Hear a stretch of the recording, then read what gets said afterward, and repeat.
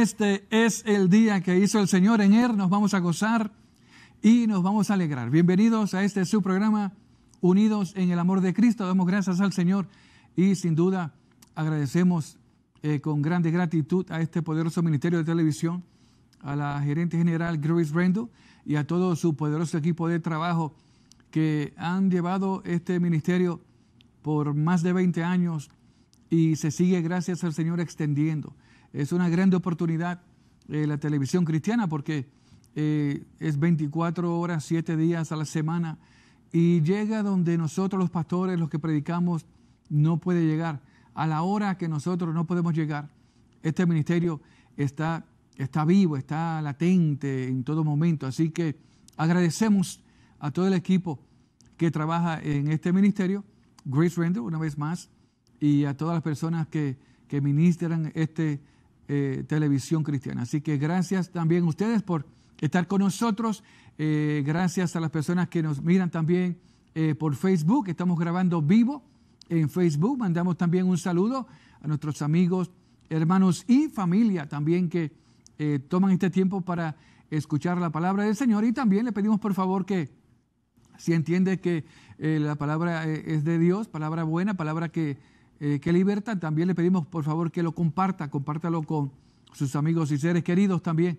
Y seguimos aquí hacia adelante. Así que mi nombre es el pastor Félix Pagán, Félix Luis Pagán Ojeda, de la Iglesia Abundancia de Paz, aquí en esta gloriosa ciudad de El Paso, Texas. Aquí estamos, el Señor nos ha trasladado a esta poderosa ciudad para que eh, también participemos y nos unamos a los, a los muchos hombres y mujeres de Dios que el Señor ha llamado a predicar su poderosa palabra, el Evangelio. A mí me gusta el significado de Evangelio, además de buenas noticias, es mensaje alegre, es un mensaje alegre. Y por eso pues damos gloria a Dios que estamos en este trabajo de predicar la palabra del Señor. Saludamos también y desde aquí eh, con gozo y alegría y un abrazo a todos los hombres y mujeres llamados por Dios a predicar su palabra, su evangelio. Así que pastores que nos están mirando, nos están sintonizando, gracias por estar con nosotros. El tema de hoy es un tema que eh, vamos, yo quiero, mi intención es traerlo desde otro punto de vista. Usted sabe, a los que predican y a los hermanos que aman el Señor y aman su palabra, eh, la palabra Pedro nos dice que no es de interpretación privada. O sea, nadie tiene toda la revelación de la palabra de Dios. Eh, estamos todos los días aprendiendo. Eh, yo llevo, eh, gracias al Señor y en su misericordia, 30 años predicando el Evangelio. Y me sorprendo cuando después de 30 años leyendo la Biblia, estudiándola, buscando, preguntando, hay cosas que, que sigo aprendiendo, cosas que al comienzo yo no sabía, yo no predicaba. Y eso es lo bonito de la palabra, que la revelación es progresiva y nadie tiene toda la revelación, nadie la tiene toda. Pero también podemos entender que podemos aprender los unos de los otros.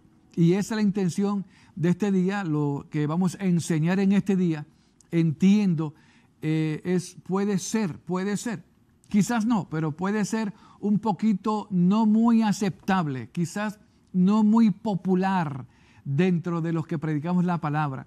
Pero mi intención, como le digo de todo corazón, de verdad, es ah, enseñarlo y usted lee la Biblia y usted puede preguntar, de hecho participe, ahí tenemos personas, hermanas capacitadas para recibir su llamada, su petición, interceder por ustedes. Y si tienen alguna pregunta que posiblemente pueda tener, eh, dígale, escríbala, dígale, hermana, eh, llévele esta pregunta al pastor para que eh, me, me dé un consejo o una contestación conforme a lo que él está hablando. El tema a cual nos referimos es el tema de el proceso. Realmente yo desde que he predicado la palabra hace 30 años, nunca he creído, con respeto y cariño a toda la gente que cree pero yo nunca he creído en el proceso. El proceso es lo que las personas que lo enseñan o lo predican eh, creen que Dios, el Todopoderoso, Jehová de los ejércitos, poderoso en batalla, eh, creen que las cosas malas que le pasan a sus hijos, a los cristianos, que vienen de parte de Dios. Y ellos dicen y enseñan que es un proceso, que eh, lo que Dios quiere con eso malo que te está pasando, que viene de Dios. Note esto importante y con respeto me dirijo a ustedes. Eh, dicen ellos que el proceso, que es algo malo que viene de parte de Dios, o sino que Dios lo permite. Ellos dicen que la razón del proceso, eh, o sea, enfermedades, tragedias, accidentes, divorcios, eh, seres queridos perdidos en el mundo, viviendo la vida loca. Ellos dicen que eso Dios lo permite o que Dios lo trae, porque de esa manera nos vamos a acercar más al Señor o o vamos a crecer en la fe, o el Señor está usando eso para formar nuestro carácter o para moldearnos a como debemos de ser. Ese es el proceso.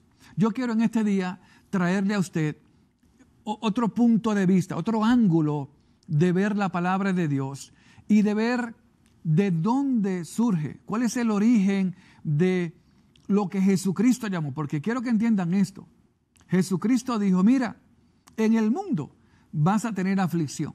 En el mundo vas a tener aflicción. Pero Cristo dijo, pero confiad en Él, confiad en mí, porque yo he vencido al mundo. O sea, cuando hablamos de que eh, no, no creemos en la predicación del proceso, no estamos diciendo que una vez que venimos a Jesucristo, como dicen algunos, todo es color de rosas y, riquezas y, y no hay problema. No, todo lo contrario.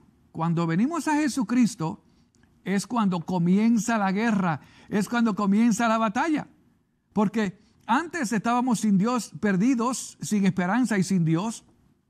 Y el enemigo nos traía como él quería, nos gobernaba, literalmente nos gobernaba. Hacíamos lo que venía a nuestra mente, nos lanzábamos sin preguntar y lo hacíamos. Pero ahora que estamos en el Señor, que somos nuevas criaturas, que estamos cambiando con la palabra, el enemigo se va a levantar. Y lo que él va a buscar es volvernos a traer. Él quiere tener ese control de nosotros otra vez. Y es ahí donde usted y yo resistimos al diablo. Es ahí donde hacemos el consejo que nos da Santiago en el capítulo 4, versículo 7, donde dice, someternos a Dios. Someternos a Dios es creerle a Dios, es esperar en Dios, es creer a lo que Él dijo en su palabra.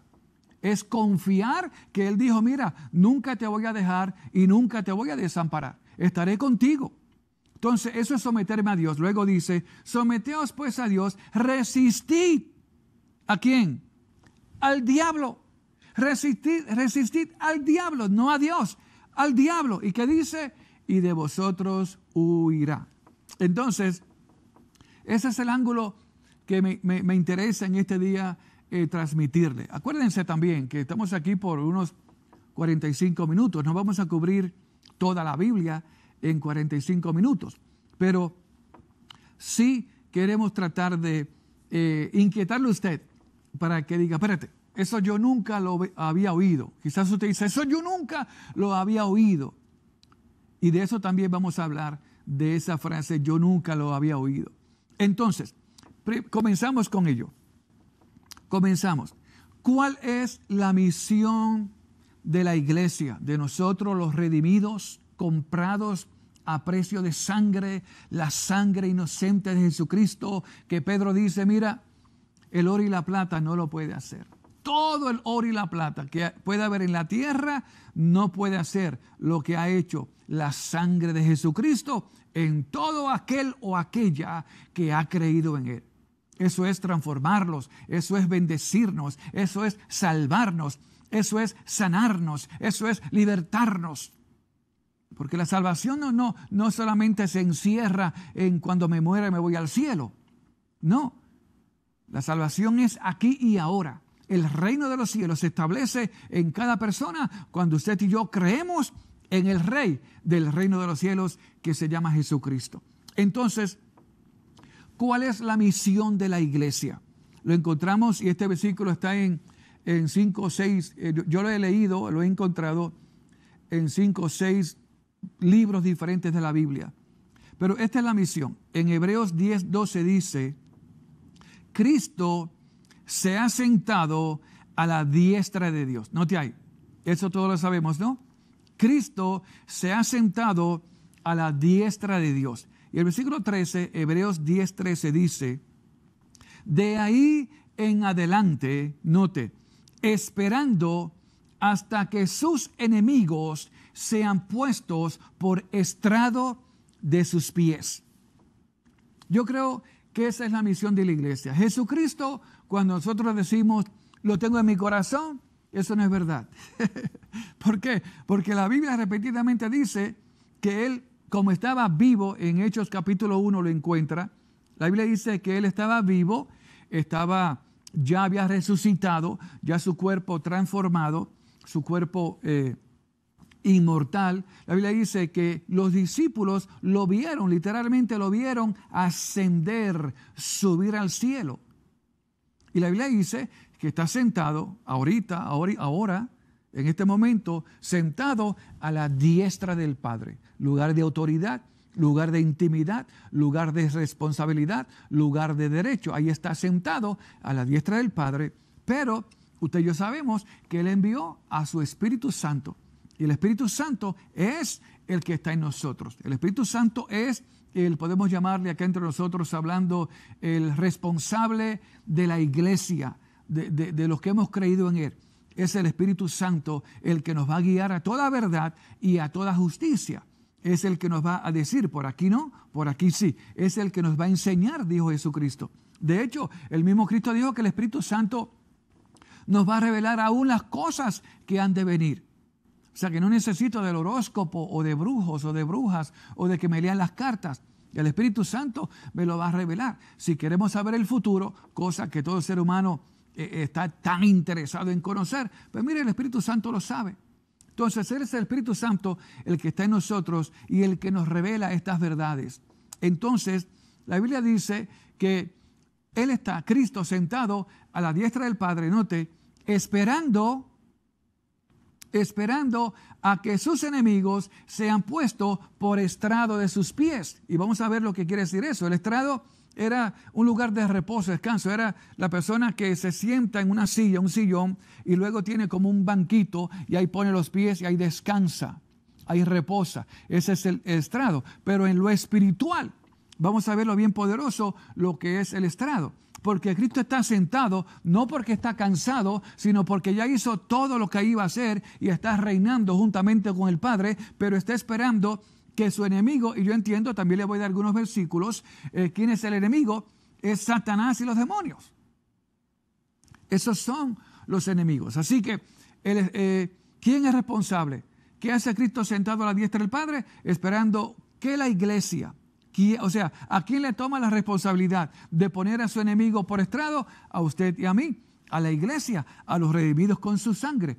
Esos son. El enemigo no es como algunas personas pueden pensar que es el hombre. No, al contrario. La Biblia dice que cuando nosotros éramos sus enemigos, Cristo murió por nosotros. O sea que el ser humano no es el enemigo de Dios. Escúchame, porque esto también a veces lo escucho por ahí que Dios está enojado con el hombre. No, Dios no está enojado con el hombre. Dios no está enojado con el ser humano. No, la Biblia dice que su misericordia se hace nueva todas las mañanas. Es decir, Él no tiene un récord de las cosas malas que estamos haciendo. No, al nosotros despertarnos a ese nuevo día, ese nuevo día de gloria que Dios ha creado para nosotros, para que en Él nos gocemos y nos alegremos, es como si nunca hubiese eh, hecho nada malo, porque Él no se acuerda de las cosas de ayer. Ese es el amor de Dios. Ahora, vamos aquí. en el Salmo 7:11 dice, Dios es justo y Dios está airado contra el impío todos los días. ¿Quién es el impío? Satanás, los demonios. No el ser humano, Satanás y los demonios. Entonces, en Isaías 11:4, para establecer quién es el impío, Dice, herirá la tierra con la vara de su boca. La vara de su boca es la palabra. En el Salmo 23 dice, tu vara y tu callado me infunden aliento. Hay personas que creen en el proceso, que predican, enseñan el proceso. Dicen, la vara es que Dios te castiga, la vara es que Dios te disciplina, la vara es que Dios te procesa. no, no. La vara es la palabra de Dios. La vara es la palabra. Tu vara y tu callado. Callado, Espíritu Santo. David dijo, tu vara y tu callado infunden aliento, o sea, me traen vida. Eso es aliento. Ese es el soplo que él sopló en Adán y le trajo vida y vino a ser el ser un ser viviente. Entonces, eh, dice Isaías 11:4, herirá la tierra con la vara de su boca y con el espíritu de sus labios matará al impío. ¿Lo ve ahí? Isaías 11:4, matará al impío.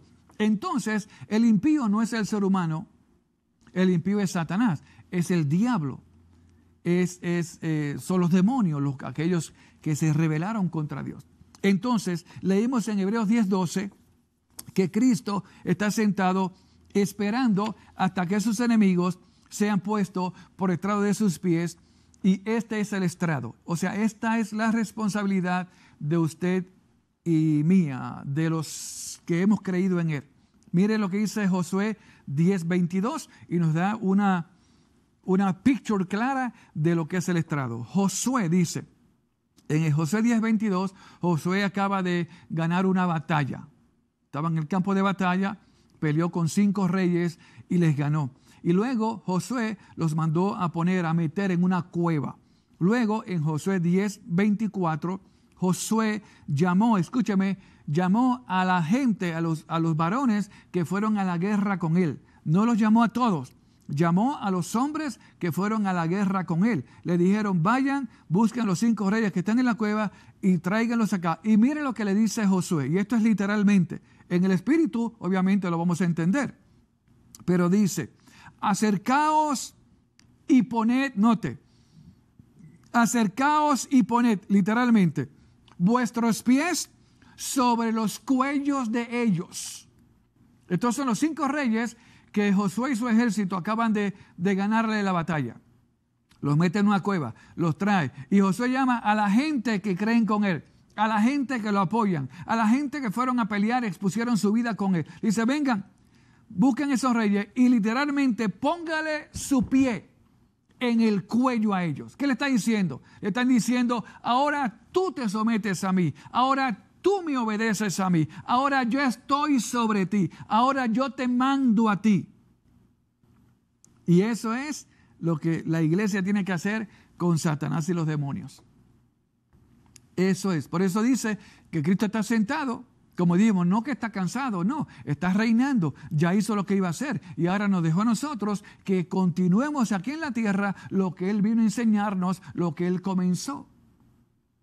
Entonces nos dice que usted y yo tenemos que ponerle nuestro pie literalmente a Satanás en el cuello y decirle, ahora tú me obedeces a mí, ahora tú te sometes a mí, ahora tú tienes que hacer lo que yo te diga. Literalmente en el Espíritu eso es lo que Jesucristo espera de la iglesia. ¿Estamos aquí? ¿Estamos entendiendo esto? ¿Por qué estamos hablando de esto? Permítame regresar un poquito atrás, hacer una pausa. Porque estamos hablando, apenas si usted acaba de sintonizarnos, gracias por su tiempo, estamos hablando acerca del proceso. El proceso es lo que algunos llaman eh, que cosas malas le pasan a los cristianos y que es Dios el que lo permite, o es Dios el que le trae las tormentas, o es Dios el que se pone de acuerdo con Satanás y le da permiso al diablo para que de esa manera, en ese dolor, eh, en esa angustia, en esa adversidad, usted mire a Dios y se acerque a Dios. Cosa más lejos de la verdad, no está, no, es imposible. Entonces, el proceso, algunos llaman, es que Dios te procesa para que moldear tu carácter o para formarte, o sea, como Dios quiere. Así como el alfarero, ¿se acuerdan? Así como el alfarero, así es que dicen ellos, lo que predican del proceso, que eso Dios lo hace. Pero escúchame bien, por favor.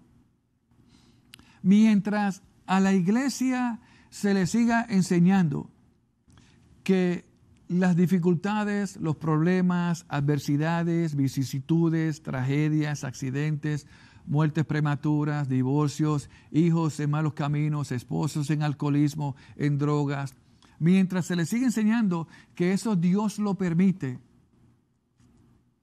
Entonces, escúchame por favor.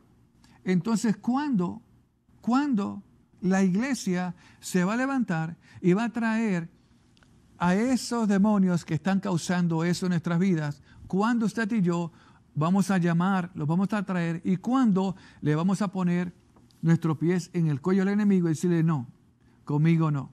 Ahora tú te sometes a mí. ¿Se acuerdan allá? Hablamos en Josué capítulo 10, 24. A los reyes, o sea, al enemigo del pueblo de Dios. Josué literalmente le dijo, vengan, tráigalo, póngale en el cuello, el, su pies en el cuello. En otras palabras, ellos ahora se someten a ti. Ellos ahora tienen que obedecerte a ti.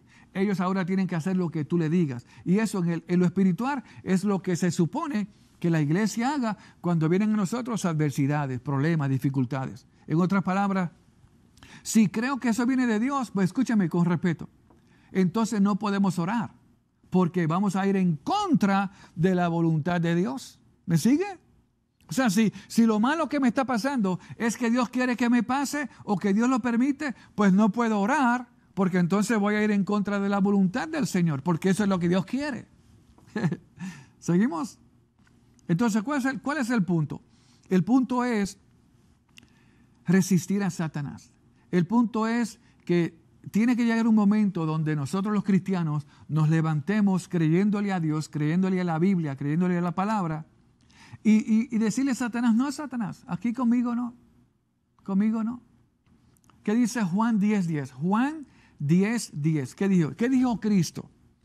Cristo dijo, el ladrón cuando viene, y ahí entendemos, yo creo que entendemos que el ladrón es una referencia a Satanás. Porque pues, ¿quién usted cree que es?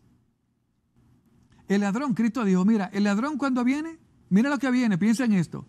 ¿Viene a qué? A matar, note, note a quién es el que mata. Viene a matar, note, a robar, note, viene a robarte la salud, viene a robarte la paz, viene a robarte el matrimonio, viene a robarte los hijos, viene a robarte las amistades. Eso, viene a robar y viene a destruir. Note eso, note por favor, note, robar, matar y destruir. Eso lo hace el diablo con sus demonios. Y en ese mismo versículo, Juan 10, 10, ahí mismo, Cristo dijo, pero, y ese pero, si usted lo mira bien, cambia lo que dijimos antes, pero, ¿verdad? Es cuando pedimos perdón, te perdono, pero, ah, no, pues ya, ya lo dañaste, o sea, ya no te voy a creer. ¿Me perdonas o no me perdonas? ¿Me amas o no me amas? ¿Te olvidas o no te olvidas? Porque cuando le ponemos un pero, cambió lo que dijimos anteriormente, lo cambió. Entonces Cristo, Cristo dijo, el diablo viene a matar, robar y destruir. Pero Cristo dijo, yo he venido. ¿A dónde? A tu vida, a tu corazón, a tu familia, a tus finanzas, a tu cuerpo, a tu mente, a tu alma, a tus emociones. Él dice, pero yo he venido. Note, para que tengan vida. Ahí vamos. ¿Lo tienes? Para que tengan vida. Y Cristo añadió, y vida más abundante.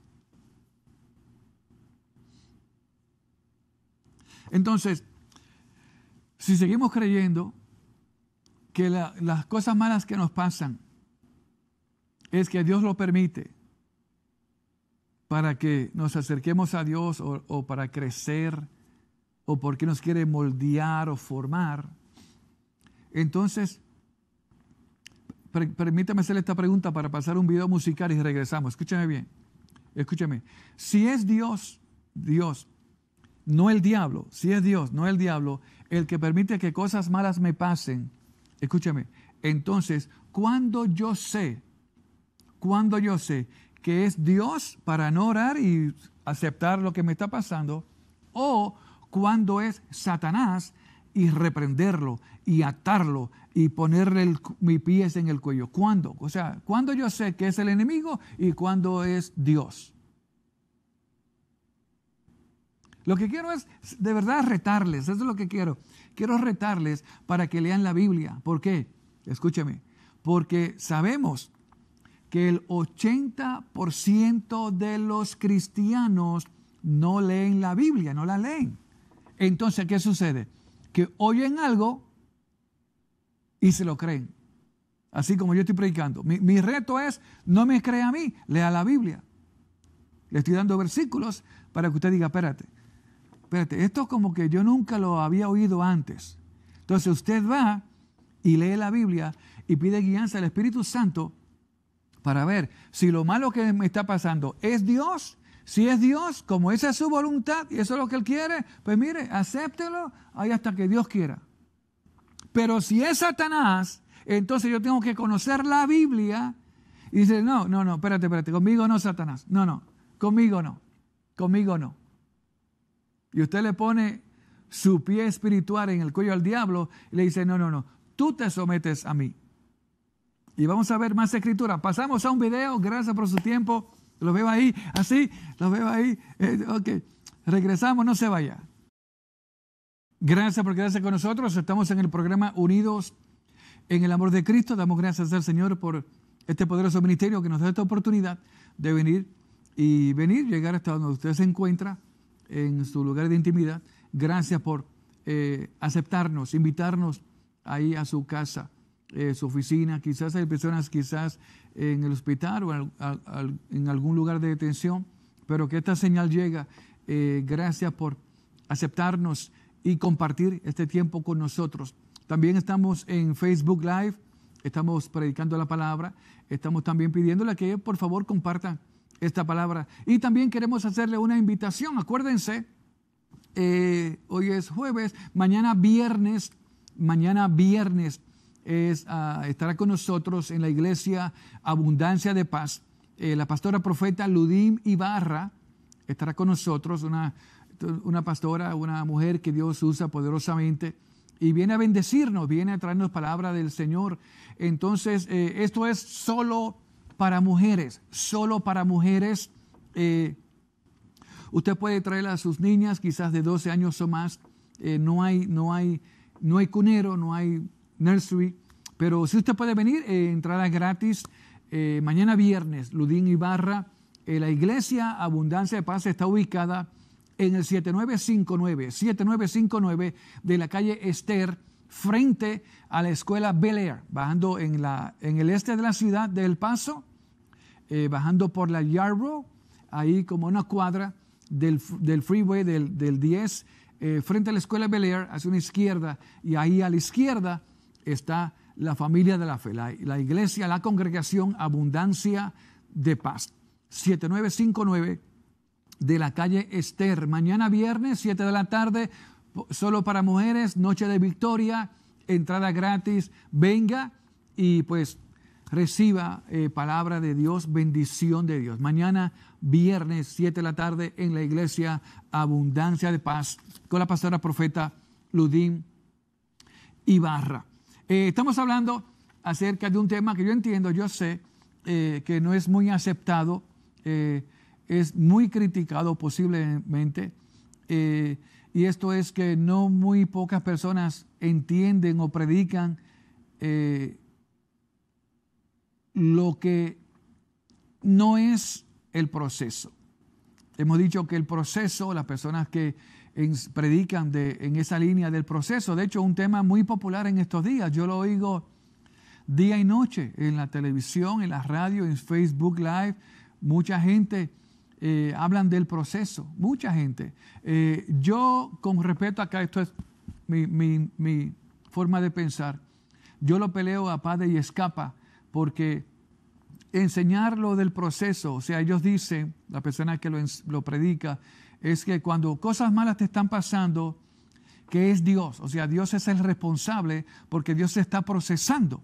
Y la intención, dicen ellos, del proceso es para que te acerques a Dios, es para que crezcas en la fe, es porque, escúchame bien esto que es increíble, pero dicen ellos, mira, mientras más sufras, mientras más fuerte sea el dolor, prepárate, dicen, prepárate porque Dios te va a llevar a un nivel de gloria. Eso no es verdad, e, eso no es cierto, o sea, el dolor no viene de Dios. La Biblia repetidamente dice, Él es el que sana todas mis dolencias, espirituales y emocionales. La Biblia dice en Isaías 53, Él es el, eh, dice, por su llaga fuimos nosotros curados. Eso de sanidad, eso no es una promesa, eso viene acompañado de la salvación. Y la Biblia dice, mira, si Dios con nosotros, ¿quién contra nosotros? O sea que enseñar y decir que las cosas malas que nos pasan no vienen del diablo, sino de Dios, eso hay que volverlo a revisar, hay que volverlo a, leer la Biblia. Entonces, eh, hablamos de esto porque eh, de las muchas escrituras que posiblemente usted lee en la Biblia y su entendimiento sea que es Dios el responsable, hemos escrito un libro, mire, el proceso de Job, y precisamente y con toda intención le pusimos ese título, el proceso de Job. ¿Por qué? Porque el contenido del libro es todo lo contrario a su título. Pero ¿por qué le pusimos el proceso de Job? Porque como es tan popular, es de verdad, o sea, como es tan popular esa enseñanza, esa predicación, y la gente lo, abraza, la intención era llamar la atención a las personas y una vez que comiencen a leer el libro, se van a dar cuenta que lo que le ocurrió a Job no fue Dios. El mismo Job, a los últimos capítulos del libro de Job, él mismo lo dice. Él mismo se arrepiente de lo que dijo. Porque en el libro de Job, si usted el libro, lo lee, y el problema es, como ya dijimos, el 80% de los cristianos no leen la Biblia, entonces eh, leen el capítulo 1 y 2 del libro de Job y una vez cierran la Biblia y dictan sentencia contra el rey del universo, contra el creador de todas las cosas, diciendo, sí fue, mira, fue Dios. Escúchame, escúchame y piensen esto, por favor, piensen esto. Dicen ellos, sí fue Dios el que le mató a sus hijos. Piensen eso. Fue Dios el que le mató a sus hijos. Fue Dios el que le mató todo su ganado y que era mucho. Fue Dios el que le trajo la lepra. Piensen eso, por favor. Piensen eso. Si leemos los 42 libros del libro de Job, oh, son 42, no son dos, son 42 capítulos. Si usted lo lee, yo le garantizo con toda certeza que usted, con respeto me dirijo, que usted va a aprender lo que Job aprendió. Job aprendió al final de su libro que no fue Jehová Dios, que fue el diablo y que fue Satanás el que le mató a sus hijos, el que le mató todo su ganado y el que le trajo la enfermedad de la lepra. Por eso Job, escúchame, por eso Job dice, al final, Job dice, de oídas te había oído. Es decir, Job, escuche, Job no conocía a Dios. ¿Cómo dice blasfemia? No, es lo que le digo, es, es mi propósito, es mi intención, que leamos la Biblia. Job no conocía. ¿Qué dijo Job? ¿Qué dijo? De oídas te había oído. Hello. Dice, pero ahora que Dios se les revela y que el mismo Dios lea. En los últimos capítulos, hay dos capítulos en el libro de Job que el Señor llama a Job y dice, Job, ven, ven acá. Y el mismo Jehová dice, hablando de Job, le dice, ¿quién es ese que oscurece el consejo con palabras sin sabiduría? Porque desde el comienzo del libro, Job, que pensaba que era Jehová el que mató a los hijos, Job dijo, Jehová dio, Jehová quitó. Y al final, cuando el, Señor llama a Job, lo llama a cuentas y le dice, mira, esto es lo que yo hago. Y luego el capítulo próximo, creo que el capítulo 39 o 40, eh, el Señor les revela quién es el leviatán, quién es Satanás, quién es el diablo. Job entiende quién es Dios, quién es el diablo y quién fue el responsable de la calamidad y del revés que causó en la vida de Job. Pero ese es el problema, es lo que le digo. No leen la Biblia y lo creemos todos. Ah, pues mira, aquella persona dijo eso, pues yo lo recibo, yo lo creo. No, no, no hay nada malo con respeto y cariño preguntar, leer la Biblia, preguntarle al Espíritu Santo, que es el que lo sabe todo. No hay nada malo con eso.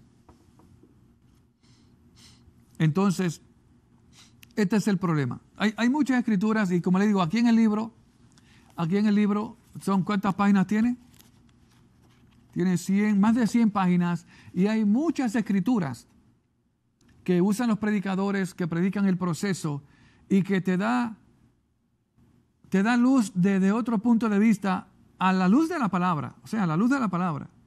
Usted léalo y usted decide.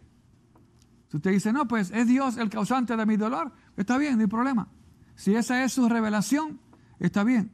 El Señor le sigue amando, su nombre está escrito en el libro de la vida y seguimos para adelante en el nombre de Jesús. Ahora, mire, eh, para avanzar un poquito, tengo aquí muchas escrituras, pero obviamente el tiempo no nos alcanza. Pero mire lo que dice Lucas 10, 17. Volvieron los 70 con gozo 70, o sea, volvieron los 70. El Señor llamó a 70, le dio autoridad para que fueran a, establecer su reino aquí en la tierra, para sanar a los enfermos, perdón, para levantar los muertos. Y la Biblia dice, el Señor mandó 70 y 70 regresaron con gozo. ¿Por qué? Porque el Señor los mandó. Y por eso, como el Señor los mandó, el Señor los guardó, los protegió.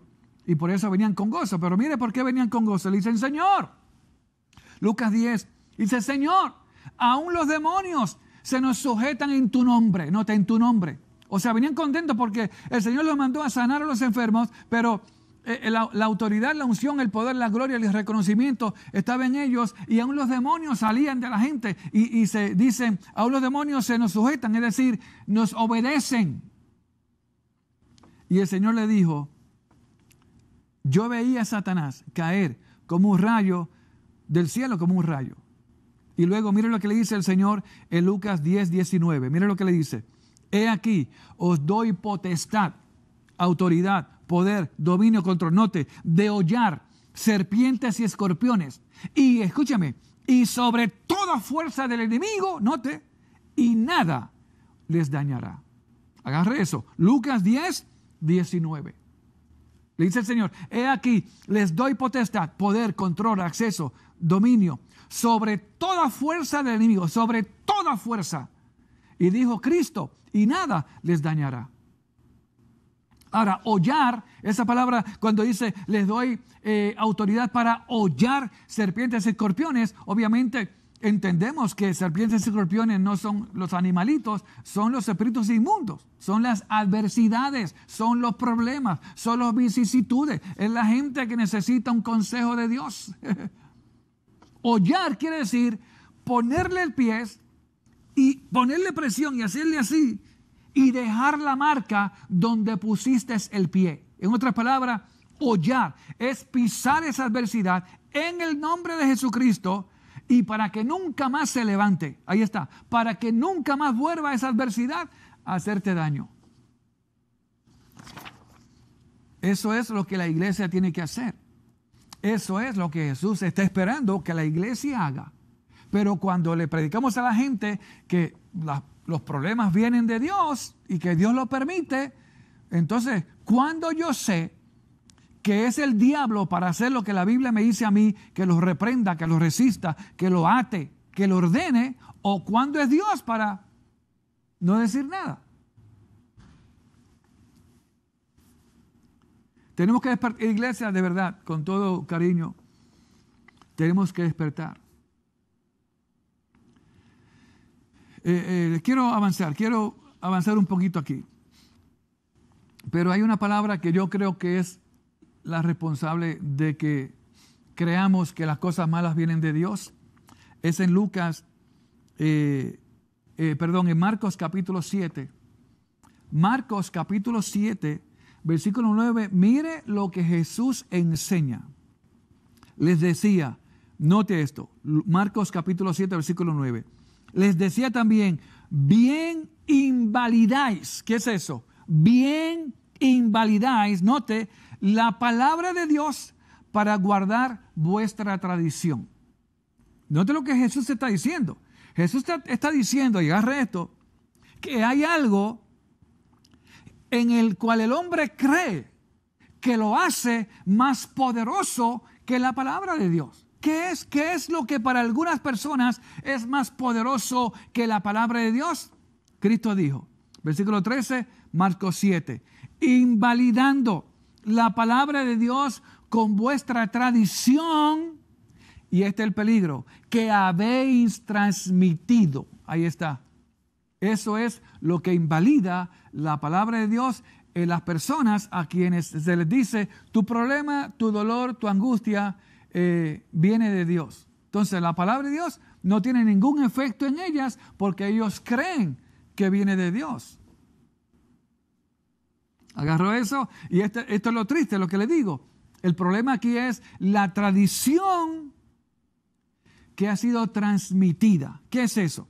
¿Qué es la tradición transmitida? Pues mira, 100, 80, 60, 30 años atrás, alguien se levantó y predicó, Dios te pasa por el fuego, Dios permite que cosas malas te pasen, Dios te pasa por el horno y, y Dios es tu alfarero. Y alguien lo oyó, alguien lo oyó, no preguntó, no leyó la Biblia, no indagó, no hizo nada, no estudió, no se preparó y va y repite eso que oyó, lo repite. Luego viene otro, escuchó eso que se repitió, viene alguien, lo oyó, también no pregunta, no indaga, no lee la Biblia, no lo acepta. Y va y lo predica. Y así año tras año se va transmitiendo, escúchame, y yo sé que si usted no está de acuerdo conmigo, no hay problema, le sigo amando y espero que usted sea eh, eh, maduro también y, y me siga amando, pero escúcheme, es, el problema donde se va transmitiendo la tradición y ya ha llegado, ha llegado esta enseñanza o predicación del proceso, ha llegado a ser una doctrina bíblica que no es bíblica. O sea, se ha aceptado como una verdad que no es verdad. ¿Y qué está diciendo? Pastor, ¿qué, qué le pasa? No, estoy diciendo, lo que yo encuentro en la Escritura. Que usted y yo hemos sido llamados a reprender a Satanás, a atarlo, a resistirlo, a quebrantarlo, a odiar su maldad, a odiar su pecado. Pero mientras yo siga creyendo que lo malo no viene del diablo, sino de Dios, pues mira, ¿cuándo la iglesia se va a levantar y a tomar su posición? ¿Cuándo? Entonces, e, e, ese es el problema, me parece a mí. El problema es la tradición transmitida que alguien lo oyó, no se educaron, no estudiaron, no leyeron, no oraron, no buscaron el rostro de Dios para ver si eso era verdad. Y lo siguen repitiendo y repitiendo. Y pues la gente lo acepta, lo cree, porque obviamente viene de un hombre de Dios, viene de una mujer de Dios, viene de alguien que se honra, que se respeta. Pero como dijimos, podemos aprender los unos de los otros. De verdad e, es mi intención retarle a usted, retarle. Y abra la Biblia otra vez, abra la Biblia. Diga el Espíritu Santo, esto que el pastor Pagán predica, ¿eso qué? ¿Qué es eso? A mí toda la vida me dijeron que, es un proceso y que hay que aceptarlo. Pues no, no, no necesariamente. No necesariamente. Y otra vez, nadie tiene toda la revelación, nadie conoce toda la verdad, nadie. No hay ningún hombre en la tierra que sepa todo de Dios. Que lo sepa todo de Dios, nadie lo hay. Pero la escritura establece que el Señor llamó a unos apóstoles, profetas, maestros, pastores, igual es el otro, y evangelista, dice, para que edifiquemos la iglesia. O sea que podemos aprender los unos de los otros. Y es con toda verdad y sinceridad mi intención de que usted diga, espérate, vamos a leer la Biblia, porque pues claro, eso es lo que a mí me dijeron, eso es lo que yo predico, que las cosas malas vienen de Dios, porque de esa manera pues me acerco a Dios o, Él forma mi carácter. O posiblemente si usted vuelve a leer la Biblia y le pide guianza al Espíritu, posiblemente eh, no sea así. Y, como digo, no estamos hablando de salvación, o sea, la salvación viene, de Jesucristo. Lo que estoy hablando es de hacerle guerra a Satanás, de hacerle guerra al diablo. De hecho, eh, mire, esto es rapidito. Si leemos el Antiguo Testamento, 39 libros del Antiguo Testamento, busque usted, léalo y busque cuántas veces aparece la palabra diablo, Satanás en esos 39 libros. Búsquelo. ¿Sabe cuál es la razón? Que en el Antiguo Testamento, en 39 libros, Satanás no le fue revelado a los profetas. Por eso los profetas, muchos en el Antiguo Testamento, escúchame, en el Antiguo Testamento para ellos todo lo bueno y lo malo venía de Dios. ¿Por qué? Porque Satanás no les ha revelado. De hecho, la palabra Satanás en el hebreo, es un vocablo hebreo que eh, eh, es lo que significa adversario, contradictor. Pero los hebreos lo usaban no como referencia a una criatura espiritual, sino a otra persona. Le decían, no, tú eres Satanás. O sea, le estaban diciendo, tú, tú, eres, tú eres, un contradictor, tú eh, te opones. Pero nunca lo han creído hasta el día de hoy como como, como el diablo, o sea, como una criatura eh, espiritual. Mas, sin embargo, ahora Juan nos da la revelación. Eh, Pablo en Efesios 6.12, ¿qué dice? Lee la Biblia. Efesios 6.12, ¿qué dice? ¿Contra quién es su guerra? Entonces, en Juan, en Apocalipsis 9.12, dice, mira, el diablo, la serpiente antigua, Satanás y el dragón, dice, es el diablo. Así se llama, dice, se llama así. Pero en el Antiguo Testamento los, profetas, ellos no sabían quién era el diablo, ellos no conocían quién era el diablo. Y escúchame bien, otro punto interesante. En el Antiguo Testamento, con respeto, ¿dónde estaba el Espíritu Santo? Dígame, ¿dónde estaba el Espíritu Santo en el Antiguo Testamento? El Antiguo Testamento, la Biblia establece en el Nuevo que era sombra de las cosas que habían de venir. Era una sombra. O sea, eh, porque el Señor no podía hablar de cosas espirituales a gente muertas en el espíritu. Por eso los antiguos que creían en Dios no podían irse al cielo hasta que vino Jesucristo, resucitó y llevó cautiva la cautividad. ¿Me sigue? Le digo, es, es, es un proceso extenso. Esta enseñanza es un proceso largo. Por eso en 45 minutos no, vamos a cubrir todo lo que dice la Biblia, pero es mi intención, de verdad, con cariño y con mucho amor, que usted vuelva a la Biblia y la lea, porque usted y yo somos llamados a ponerle nuestros pies en el cuello a Satanás. Eso es atraerle a nuestro enemigo, el enemigo de Dios, por estrado de nuestros pies. Eso es lo que está Jesucristo sentado a la diestra del Padre y está esperando. En Génesis ¿Cómo se revela Satanás en Génesis a la primera familia? Como serpiente, ¿verdad? Como serpiente. ¿Y cómo se revela en Apocalipsis? Como dragón. ¿Me sigue? Como dragón. La pregunta es, ¿quién lo alimentó? ¿Quién lo alimentó? Yo creo, sin duda, el pecado de la raza humana, pero también la ignorancia de la iglesia que le da poder que no tiene. Espero que esté conmigo, espero que eh, se comunique conmigo a través de Facebook, me haga preguntas, eh, comentarios. Por favor, vamos a tratar. Yo sé que no es un tema aceptado, yo lo sé, por eso lo traemos, con la intención nada más no de creer que sabemos más que los demás, porque ya dijimos repetidamente, nadie sabe más que nadie, pero de enseñar, de aprender, de levantar, de tomar un reto, de leer la Biblia y de tomar nuestra posición como hijos de Dios. Esa es la intención de esta enseñanza y el próximo jueves seguimos en esta línea. Dios te bendice, Jesucristo te ama. Acuérdese, próximo jueves estamos aquí, que la paz del Todopoderoso gobierne sus mentes y sus pensamientos. Nos vemos en la próxima semana.